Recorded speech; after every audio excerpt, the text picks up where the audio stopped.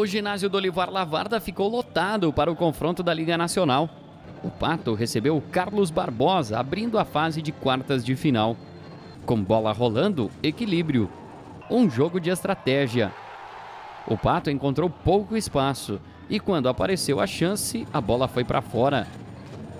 O Carlos Barbosa tentava surpreender, mas a primeira etapa terminou em 0 a 0. Na volta do intervalo, Neguinho fez essa jogada pela direita e cruzou. A bola tocou no braço de seu baque. O árbitro marcou pênalti. Na cobrança, Robério contra Wolverine. O camisa 12 mandou a bola na rede, 1 a 0 Pato. Com a desvantagem, o Carlos Barbosa tentou atacar mais, mas parou em Johnny, inspirado. No ataque, Tom tentou o passe e ela sobrou para Joe, que de bico fuzilou Wolverine. 2 a 0 Pato.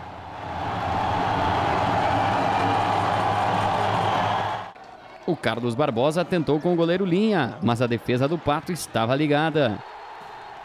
No fim de jogo, o Pato roubou a bola e Tom fez o terceiro. A CBF reclamou de falta, mas o gol foi confirmado.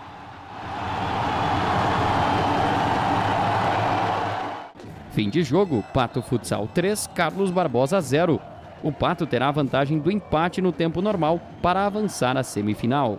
Duas equipes qualificadas, é, eu acho que as duas chegaram aqui até por merecer.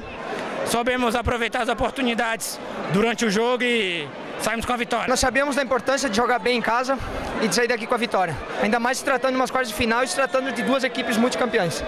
E, mas nós conseguimos reverter o bônus que era um deles. Agora o bônus é nosso. Vamos lá. Nós não vamos para empatar, nós não vamos para, nós vamos para ganhar mesmo.